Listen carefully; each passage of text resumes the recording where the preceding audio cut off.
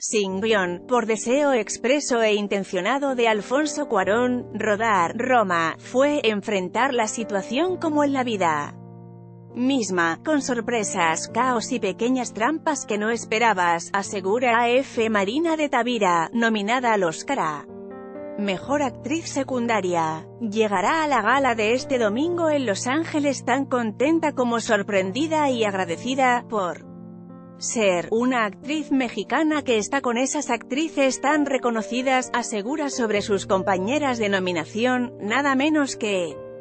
Amy Adams, Vice, Emma Stone y Rachel Weisz, ambas por The Favorite y Regina King, If Bill Street Could Talk, rumbo al Oscar, Yalitza Aparicio deslumbra en la portada de Hola, será un profundo orgullo para ella competir con esas actrices y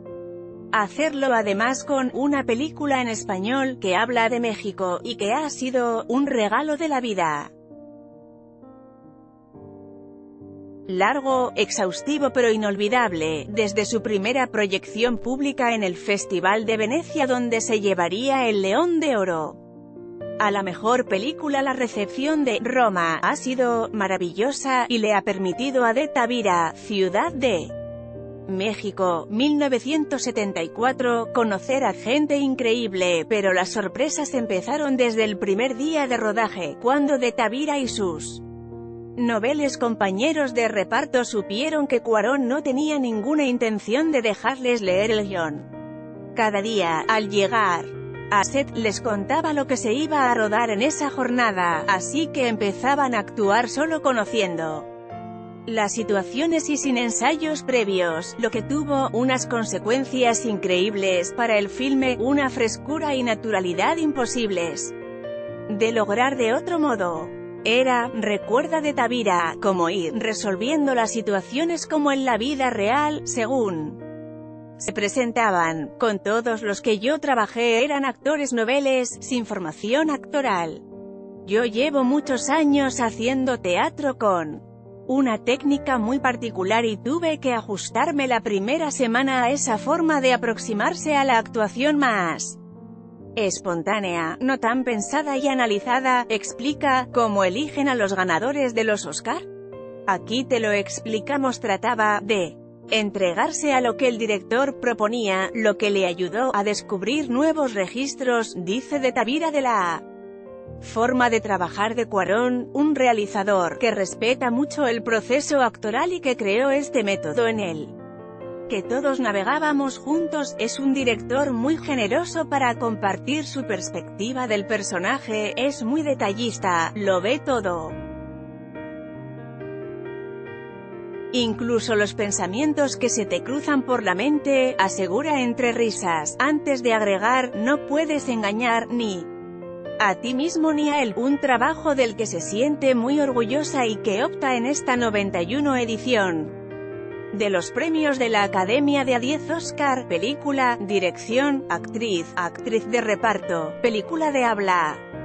No inglesa, guion original, fotografía, diseño de producción, edición de sonido y mezcla de sonido. Estas nominaciones hablan de una amplitud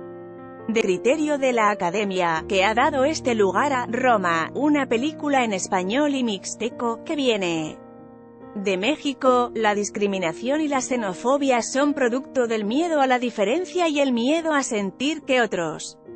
nos van a atacar, reflexionó la actriz sobre el momento en el que llega esta película, con un Estados Unidos gobernado por Donald Trump, que insiste en su idea de crear un muro que separe su país de México, compartimos un mismo mundo, podemos avanzar como sociedad para que todos tengan un mejor lugar. Sí, Roma aporta un granito de arena. A esta perspectiva estaremos muy felices, señala. Y, sobre qué tienen los cineastas mexicanos que en los últimos años arrasan. En los Oscar, han ganado cuatro de los cinco últimos premios de dirección, considera que, han sabido hacer de la